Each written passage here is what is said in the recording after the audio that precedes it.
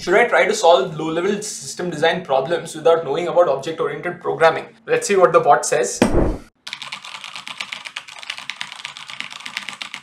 Okay, this is an interesting take. Let me start with the second paragraph, which is the most, let's say, controversial. Without a strong foundation in OOPS, you may struggle to understand and solve low-level system design problems.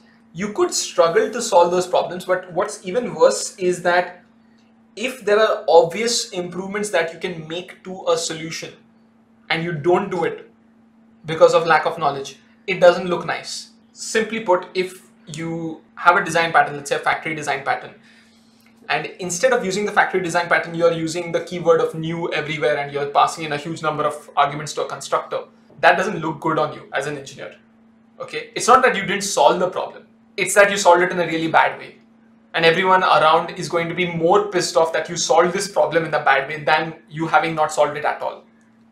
It's that crazy because rewriting code is always more expensive than just writing code afresh. The other thing is it is generally recommended to have some OOPS concepts um, like encapsulation, inheritance, polymorphism. One thing that is missed out over here is design patterns.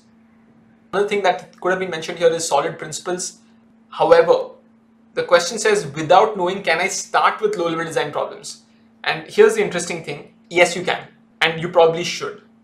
Because without having real world examples, learning about OOP principles is going to be really difficult. Learning in parallel is probably the best way with a slight preference to learning OOPS concepts in the start. How would I rate this answer? I would probably rate this answer at a 2. I would fail this answer because it doesn't talk about why why do you want to learn about OOPS beforehand?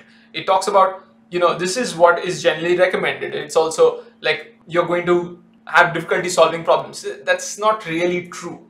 You can solve problems. Uh, it's just that you're going to suck at solving them or you're going to solve them in a really bad way. So if you're starting with low level design, uh, it's best to also look into object oriented principles.